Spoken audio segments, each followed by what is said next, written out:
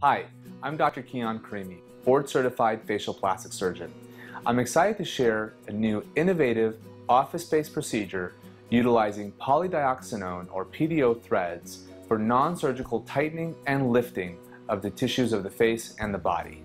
Many of us remember the contour thread lift, which was largely unsuccessful in this country due to problems with irregularity and extrusion.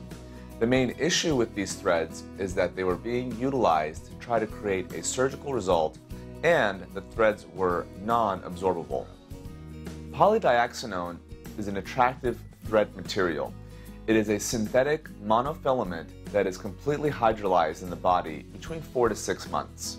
They're resilient and have a high tensile strength for the first two to three months. There's no pyrogenic reaction when they're broken down, so the inflammatory response is quite controlled and very appropriate for aesthetic use. PDO is used frequently in surgical subspecialties and has been successfully used for the past three decades. PDO sutures are FDA approved for use anywhere on the body for tissue approximation. PDO threads are also hydrophobic, therefore when placed in subcutaneous tissues will not draw water to it causing any edema. When PDO threads are placed into the subcutaneous tissues, it will create neocollagenesis and bands of fibrosis around the threads. PDO threads in aesthetics are unique. There's no fixation point, and therefore two different goals can be achieved. Either a tightening effect, or overall improvement of the skin being treated, by placing several smooth sutures in different patterns, or an actual lifting effect by placing barbed PDO sutures in different areas. Threads are an excellent adjunct to fillers and are not meant to replace fillers or volume loss. Threads would be utilized for someone who's actually looking for a true lifting or softening of areas like the corners of the mouth or the nasolabial folds. For tightening of the skin, you're going to want to utilize primarily the smooth threads, although the twist threads can also be used for this purpose. For lifting of the tissues, we now have the Barb 3 uh, NovaThread. The Barb 3 combines both a unidirectional and a bidirectional thread in one thread itself and is loaded on a cannula. When performing the threads for a biostimulative effect or to improve the overall quality of the skin, a mesh type of technique is utilized. Many threads are placed next to each other either in parallel, crisscross, or diagonal fashion to create an overall mesh effect. This effect produces gradual collagenesis around the fibers, producing a net improvement in about four to six weeks after placement of the threads. Twist fibers are used in specific areas when added volume is desired. The PDO twist suture comes in different lengths and different gauges. I recommend using them for marionette lines, nasolabial folds, and the most popular area for twist fibers to be used are for augmentation of the lips.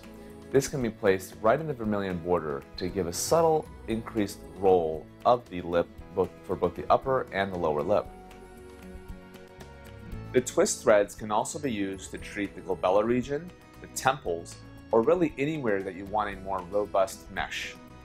The twist thread is actually twisted around the needle, which gives it a kink, and that's why it gives it a little bit more volume than a regular smooth fiber.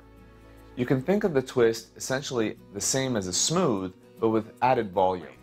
Barb 3 is useful for brow lifts, it's useful for mid-facial lifting, and it's useful for tightening the jowl. You can also use it for cutaneous neckbands. This is demonstrating one week after five different sutures for the midface and lower third. This patient received five sutures for effacement of the nasolabial fold and the lower third. This is showing immediate results after two sutures for the midface and three for the lower third.